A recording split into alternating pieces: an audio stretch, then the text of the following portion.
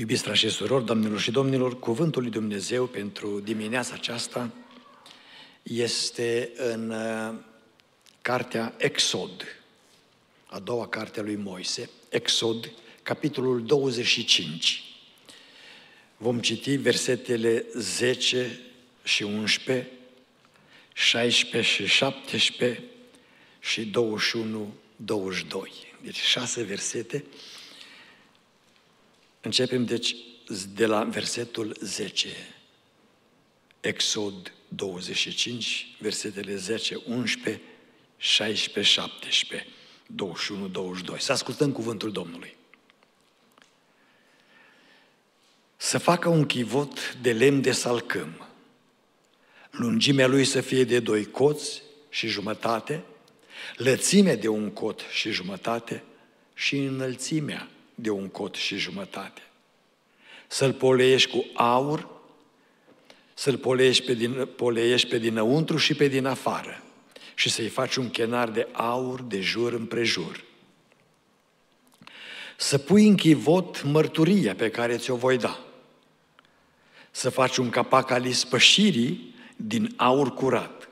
Lungimea lui să fie de doi coți și jumătate și lățimea lui de un cot și jumătate să pui capacul ispășirii pe chivot și în chivot să pui mărturia pe care ți-o voi da. Acolo mă voi întâlni cu tine și de la înălțimea capacului ispășirii, dintre cei doi heruvim așezați pe chivotul mărturiei, îți voi da toate poruncile mele pentru copiii lui Israel. Amin.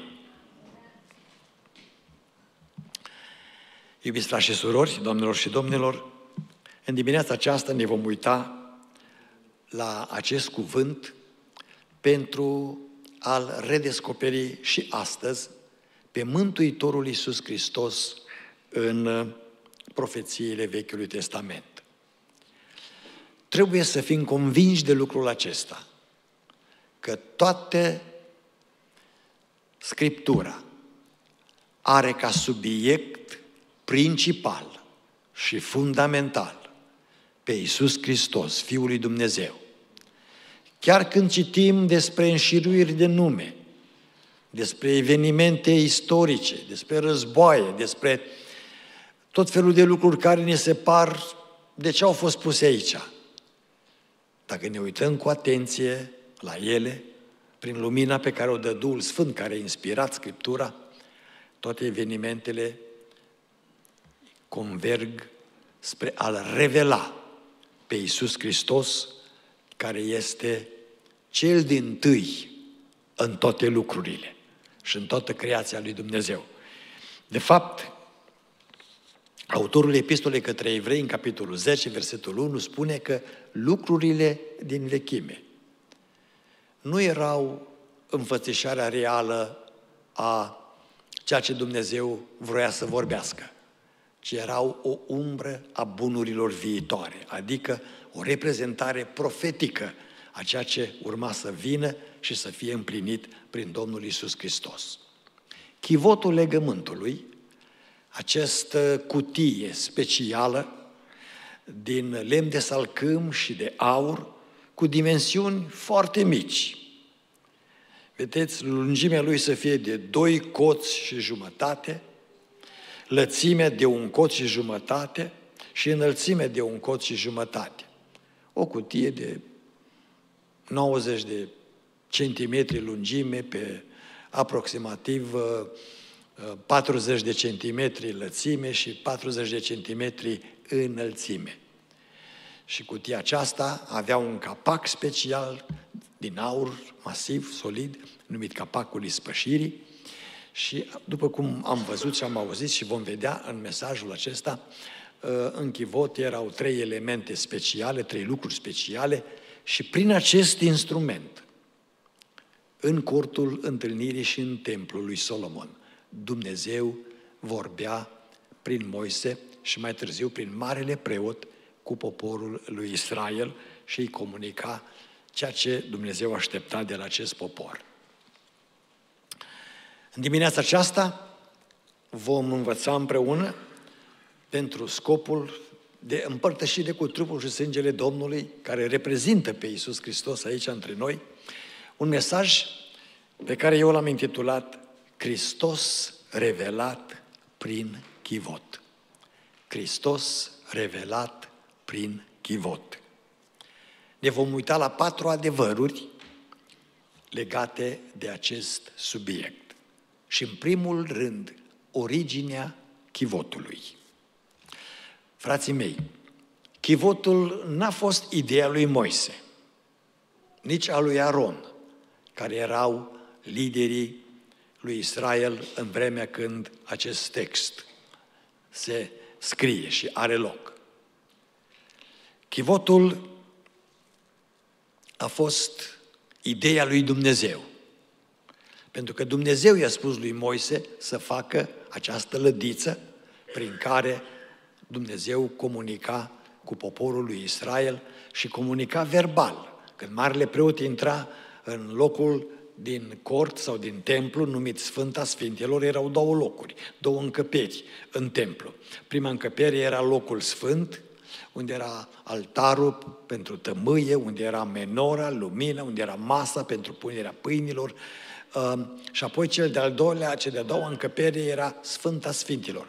Acolo nu putea să intre preoții, ci numai Marele Preot, o dată pe an, la ziua ispășirii. Și când intra acolo, Dumnezeu era auzit verbal, prin această cutie. Și Domnul comunica voia lui, planul lui pentru următorul an uh, legat de activitatea uh, spirituală pe care o aștepta de la Israel. Deci, chivotul este în realitate de origine divină, pentru că este în gândul lui Dumnezeu, în planul lui Dumnezeu. Și fiind de origine divină, chivotul și ne și spune acest lucru, că Isus Hristos este de origine divină. El este Fiul lui Dumnezeu. El este Dumnezeu adevărat, glorie Lui. Uitați-vă la aceste texte biblice care uh, vorbesc despre această origine divină. Deci chivotul ne revelează originea divină a lui Hristos. În Ioan 5 cu 39 spune, cercetați Scripturile, căci ele mărturisesc despre mine. Dacă nu cercetăm Vechiul Testament, pentru că acela era scris când Domnul Isus face această afirmație. Spunem, Isus n-a existat până în Noul Testament. Nu tot Vechiul Testament este uh, o ilustrare a Mântuitorului Iisus Hristos. El domină întreg Vechiul Testament, dar trebuie descoperit acolo, trebuie văzut acolo. Și de aceea Iisus Hristos spune, cercetați Scripturile, uitați-vă bine în Biblie. Isaia 53 este probabil profeția cea mai complexă din Vechiul Testament, unde detaliile despre Mântuitorul Iisus Hristos sunt atât de amănunțite. Isaia ne-l prezintă desfigurat, cu fața plină de sânge, bătut, abandonat chiar de Dumnezeu, purtând păcatele noastre, făcându-se păcat în locul nostru și apoi înviind glorios din morți. Detaliile acestea au uh, cutremurat lumea iudaică după ce Iisus Hristos a fost răstignit și creștinii au început să predice uh, cuvântul lui Dumnezeu și de aceea uh, au scos tot felul de teorii că Isaia 53 n-a fost scrisă și nu există de fapt în textul original, uh, a fost adăugat o adăugire creștinească. Ceea ce nu este drept, mai ales cu descoperirile arheologice din anul 1947 la Cumra. Acolo au fost descoperite sulurile sfinte ale scripturilor, care suluri sfinte uh, datează de 200-300 de ani înainte de Hristos și textul din Isaia, Isaia 53, este acolo integral. Integral. Uh, și la rândul lor, manuscrisele sunt uh, dovedite că au fost copiate de pe uh, manuscrise care au existat cu o mie de ani înainte de Hristos. Imaginați-vă la uh, cât de uh, uh curată este Biblia și cât de documentat este cuvântul Domnului în toate dimensiunile. Ioan 7 cu 29. Iisus Hristos, pentru că este de origine divină, spune, eu îl cunosc pe Tatăl, căci vin de la El. Dacă ați observat, El nu folosește expresia că m-am născut să mărturisesc despre El. Eu îl cunosc pe Tatăl, căci vin de la El. Însemnează că a fost cu El. A umblat cu El din totdeauna, altfel nu putea să vină de acolo. Și deseori expresia lui Isus Hristos este aceasta, eu am venit ca, eu am venit să, eu am venit, eu am venit. Foarte rar folosește expresia m-am născut, pentru aceasta m-am născut, când vorbește din perspectiva lui omenească. Apoi Ioan 10 cu 10, partea a doua, din nou, eu am venit ca oile mele să aibă viață. Și Sigur, nu în ultimă instanță în această privință, pentru că uh, am spus că votul este de origine divină, pentru că este din mintea lui Dumnezeu, comunicat lui Moise și lui Aron cum să fie executat, construit. Isus este de origine divină. Isus Hristos spune în Ioan 8 cu 23, Eu am venit de sus sau voi sunteți de jos, eu sunt de unde? De sus. Mântuitorul nostru este Dumnezeu. Nu este invenție creștinească. El este Fiul lui Dumnezeu, este Dumnezeu adevărat, de aceea poți să fii confident că are puterea să te mântuie. Glorie Domnului! Deci am văzut originea chivotului. În al doilea rând, al doilea mare adevăr în acest text, uh, pentru că uh, îl avem pe Iisus în față, reprezentat prin pâine și rodul viței, în textul nostru pe închivot. Al doilea lucru important pe care trebuie să-l urmărim este materialele din construcția chivotului. Versetele 10 și 11 din Exod 25, textul nostru, ne spune două materiale din care chivotul era să fie construit. Și anume, salcâm, un soi de salcâm despre care specialiștii în lemn spun că este un uh, salcâm atât de uh, rezistent încât dacă l-ai tăiat, rezistă sute, chiar mii de ani, fără să se deterioreze. Deci nu-l mănâncă uh, cariile, nu putrezește, este un salcâm de o duritate extraordinară. Uh, iar Domnul nostru Iisus Hristos, nu uităm că El este etern. Salcâm fiind, aceasta ne spune chivotul că Mântuitorul Iisus Hristos pe care acest chivot îl reprezintă, că și prin chivot se vorbește cu oamenii, și să nu uităm că Dumnezeu a vorbit, spune uh, autorul epistolei către evrei, în vechime prin profeți și a spus, iar în vremea aceasta ne-a vorbit cum? Prin Fiul. Chivotul e mijlocul prin care Dumnezeu vorbește. Și dacă Dumnezeu a vorbit omenirii, a vorbit prin Isus Hristos. A luat chipul nostru ca să poată să sta între noi, să nu ne speriem de El. Să spunem că vedem o nălucă. Oamenii pot vorbi între ei. Și Isus Hristos a luat chipul nostru și a vorbit cu noi. Salcâmul îl reprezintă pe Domnul Isus Hristos partea lui pământească omenească. Dar chivotul era poleit cu aur și pe dinăuntru și pe din afară. Aceasta este partea divină a Mântuitorului, pentru că aurul este, după cum știm foarte bine, uh, simbolul împărăției, puterea împărăției, bogăția împărăției. Chivotul ne spune, că Mântuitorul pe care noi îl celebrăm astăzi este om și este Dumnezeu. Este omenesc și este divin. De aceea putem comunica cu El. Și ce mare lucru! Gândiți-vă la acest adevăr. Că la ora aceasta, în ceruri, acolo unde locuiește Dumnezeu, unde are capitala Universului, Noi avem acolo un reprezentant prin Domnul Isus Hristos, care, atașându-și chipul omenesc, îl păstrează pentru totdeauna, pentru eternitate. Și în Dumnezeire s-a produs o schimbare. Tatăl și Duhul Sfânt au rămas prin aceeași formă spirituală, trup spiritual, iar cea de-a treia persoană din Dumnezeire pe care o numim Isus, spre deosebire de forma spirituală eternă pe care și-a păstrat-o și la care n-a renunțat niciodată, și-a atașat chipul omenesc. Și sunt de nedespărțit, lipiți unul de altul, formând o singură persoană. Noi avem un reprezentant acolo, în ceruri. Ce bine este că atunci când un creștin pleacă din lumea aceasta, moare, ca să folosim expresia cea mai populară, dacă a murit în credință, nu se duce în necunoscut, se duce direct în brațele lui Isus Hristos.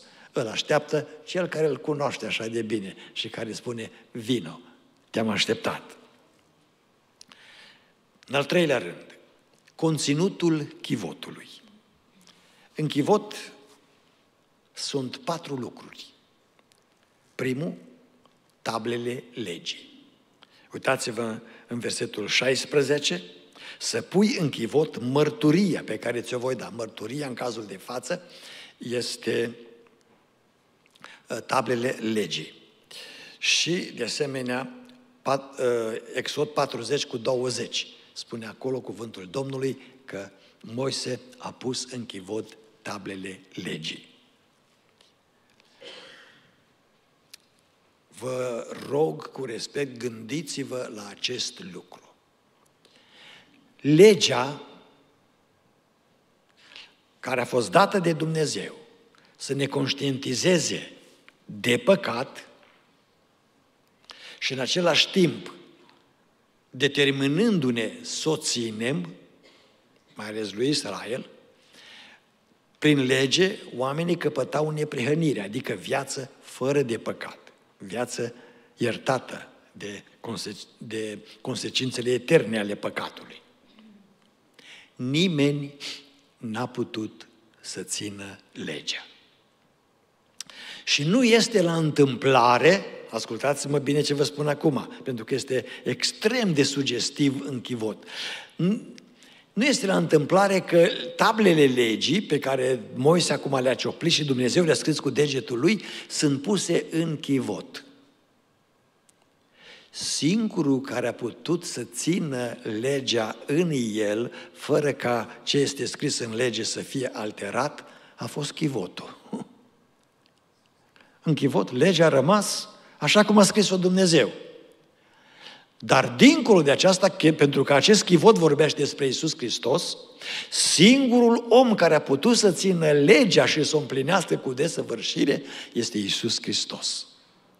În Psalmul 40 cu versetul 8, dacă puneți pe uh, ecran, cuvântul chiar spune, deci Psalmul 40 cu versetul 8 spune și legea ta este în adâncul inimii mele în fundul inimii mele. Psalmul 40 cu 8.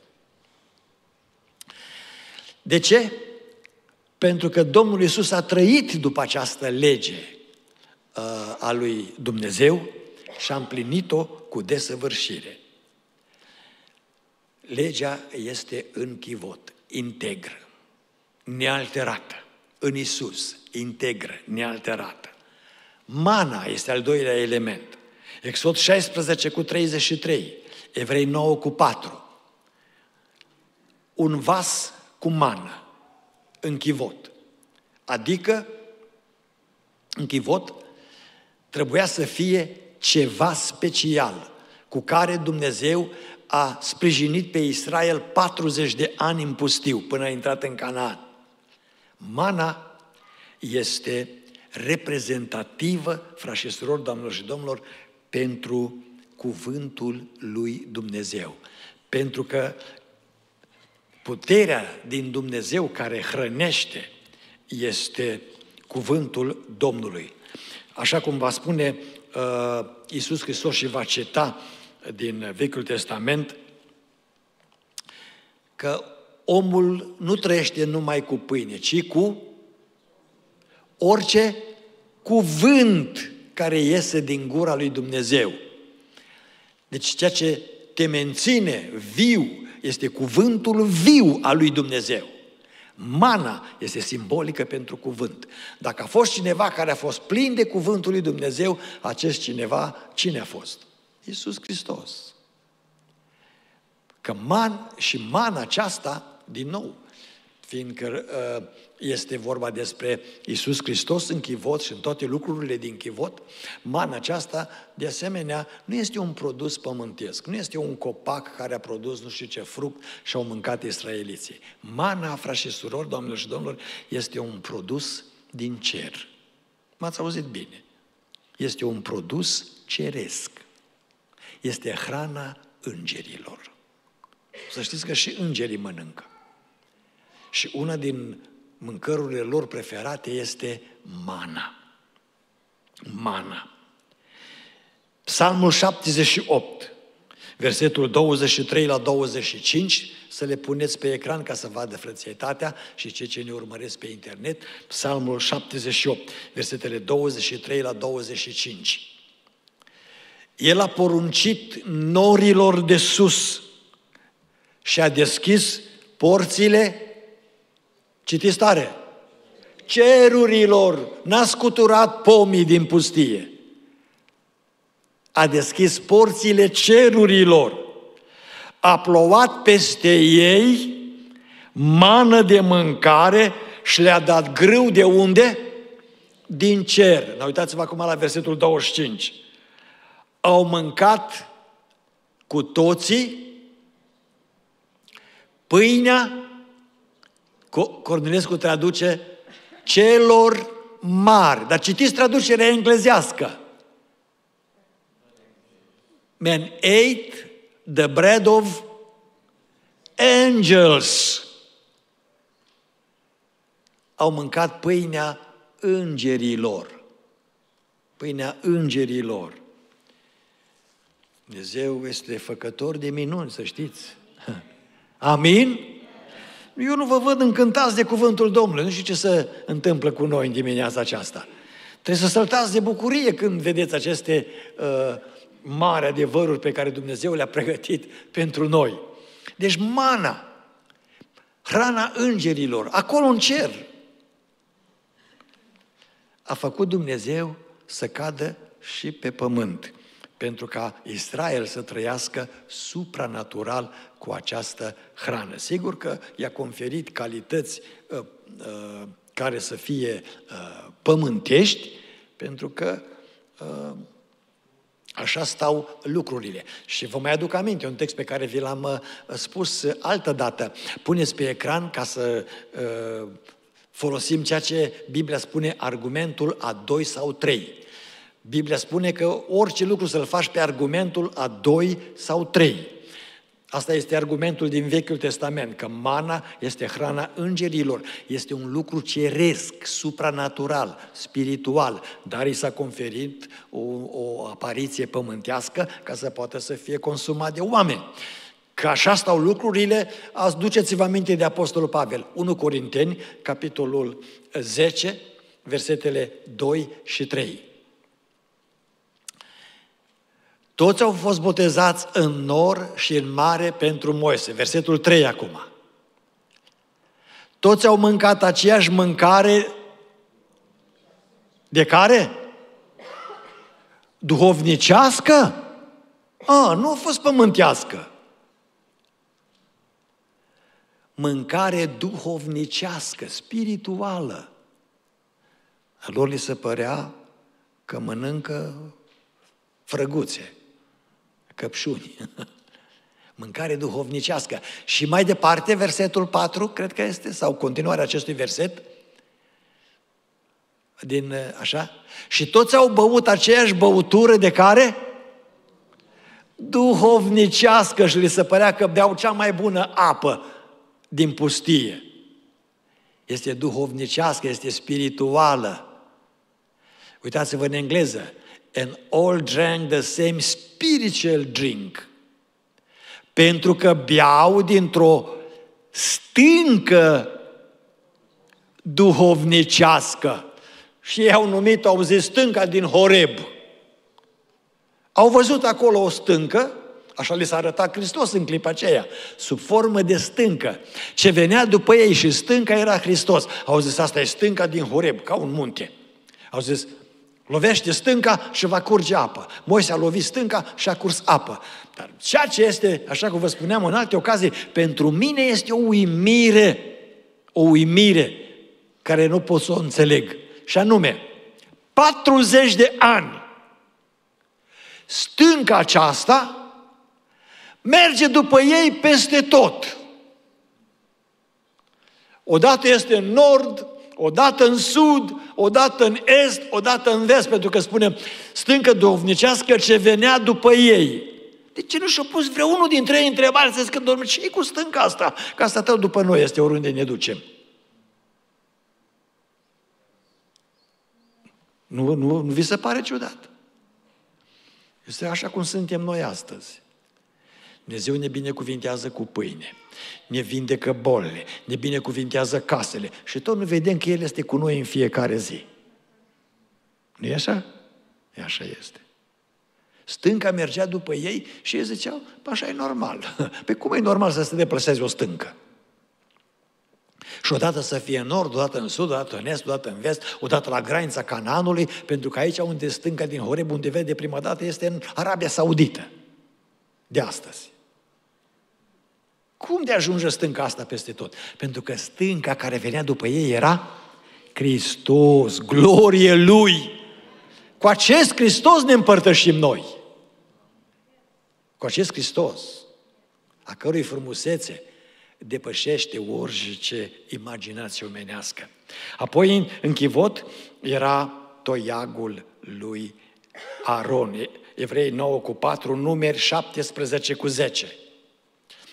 Și dați-mi voie să fac și aici o specificație care trebuie să deschidă mintea, pentru că lucrurile sunt scrise așa de frumos, de simple și oamenii le complică de numai nu le dau de capăt și nu le mai pot potrivi niciodată. Uitați-vă, nu vreau să mă înțelegeți că sunt ironic, dar la scena care în aceste zile se vede, dacă sunt imagini cu papa de la Roma, când papa iese cu alaiul lui de cardinali, N-ați observat un lucru pe care papa îl are în mână? Ați observat? Ce are? Un toiag. Un toiag de aur. E mai înalt decât el. Pe care îl ține. Este simbolul sfințeniei și a puterii. Dar nu este adevărat. Nu este adevărat toiagul lui Aron și toiagul lui Moise nu erau bâte de ciobani mai mari decât Moise. Unde, trebu- unde trebuie să fie pus toiagul lui Aron? Unde? În chivot. Și chivotul nu are numai 90 de centimetri lungime. Și atunci nu poate să fie o bâtă de cioban, o cârjă, mai înaltă decât papa. Ceea ce în Biblie Cornilescu traduce toiagul lui Aron sau toiagul lui Moise, în realitate este sceptrul lui Aron sau sceptrul lui Moise. Adică, adică un însemn al puterii, al poziției. Sceptru, ați văzut, au regii, au președinții. Este sceptru puterii. Este o, uh, un obiect de mărime aceasta, de vreo 60-70 de centimetri lungime, încrustat cu pietre scumpe, mă rog, astăzi. Toiagul lui Aron era sceptru, simbolul preoției, simbolul puterii. Toiagul lui Moise era simbolul leadership-ului, conducătorul suprem al lui Israel în vremea aceea, din perspectivă omenească. Deci, în chivot este toiagul lui Aron, adică este puterea de cârmuire. Și în final este capacul ispășirii, al patrulea lucru în chivot. Um, Exod 25 cu 17 și cu, 20, uh, cu 21. Capacul ispășirii, a cărui rol este următorul și cu aceasta închei, al patrulea lucru, scopul chivotului. Scopul chivotului. Versetul 22 din Exod 25. Acolo mă voi întâlni cu tine, la chivot. Și de la înălțimea capacului ispășirii, dintre cei doi heruvimi așezați pe chivotul mărturiei, îți voi da toate poruncile mele pentru copiii lui Israel. Două lucruri înfăptuiesc chivotul pentru Israel. Deci el îl reprezintă pe Hristos, chivotul, îl reprezintă pe Hristos în toate detaliile despre care v-am vorbit în dimineața aceasta. Dar două lucruri face. Primul, Iisus Hristos, ca și chivotul, favorizează întâlnirea noastră cu Dumnezeu. Ce credeți dumneavoastră? Care dintre noi ne putem apropia de Dumnezeu? Care? Nici unul. Dar pentru că Dumnezeu și-a făcut această lege pentru sine, să se uite la noi prin Isus Hristos, când se uită la tine prin Isus Hristos și la mine, zice ca despre Israel pe care îl mustră și zice, m-am scârbit de poporul acesta. Auziți? M-am scârbit. Este încăpățânat. Este neascultător, este obraznic, dă cu piciorul, murmură. Și acum Balac, regele Moabului, îi zice lui Balaam, blastămă pe Israel să pot să-l nimicesc. Și se duce Balaam și se uită și zice, Domnul, să nu spui numai ce-ți spun eu. Așa fac, Doamne. Ce se spun despre Israel? Spune așa despre Israel. Nu văd nici o nelegiuire în Israel. Man, niciuna! Nu, pentru că s-a uitat prin capacul ispășirii, care în engleză se numește mai apropiat de termenul ebraic și de data aceasta, pentru că îi spune the mercy seat. Mercy seat. În românește ar fi tronul milei. Capacul ispășirii peste chivot este tronul pe care se așeza Dumnezeu cu mila lui când se întâlnea cu marele preot și când stropea peste capacul ispășirii cu sângele pe care îl ducea marele preot în cort, Dumnezeu spunea, în mila mea iert pe Israel. Toate păcatele din anul acesta îi le-am iertat, este ziua ispășirii. Toate păcatele îi le-am iertat și nu mai aduc aminte de ele pentru mine. Pentru mine. Spune poporului meu să se pocăiască. A venit Isus Hristos și prin mila Lui, ne va spune autorul epistolei către evrei, puneți evrei 4 cu 15 și 16, știți foarte bine acest pasaj, l-ați auzit de atâtea ori, unde spune cuvântul Domnului, că nu avem un mare preot care să n-aibă milă de slăbiciunile noastre, ci unul care în toate lucrurile a fost ispitit ca și noi, dar fără păcat, adică dar n-a păcătuit. Și apoi mai departe, să ne apropiem, dar cu deplină încredere de scaunul Harului, de mărsisit, de tronul milei, de capacul ispășirii, vreți să spună, așa? Ca să căpătăm îndurare, adică har, milă și să găsim har, pentru ca să fim ajutați la vreme de nevoie. Eu sunt în nevoie astăzi. Am nevoie să mă ierte Domnul. Ai și tu? Vreau să stau la masa Lui. Și nu pot. Dacă se uită Domnul la mine, așa cum sunt, nu pot să mă apropiu de El. Dar Domnul mi-a spus că prin cortul întâlnirii, prin, capa, prin uh, chivotul legământului, uh, prin Isus Hristos, mă pot întâlni cu Dumnezeu. În dimineața aceasta ne putem întâlni cu Dumnezeu prin Isus Hristos, la masa Lui. Avem har, frați și surori, avem mila și favorul divin. De aceea vă încurajez, deschideți-vă inima și apropiați-vă cu bucurie de Dumnezeu pentru că vremea aceasta de nevoie este acoperită de jertfa Domnului Isus Hristos. Glorie Lui! Amin!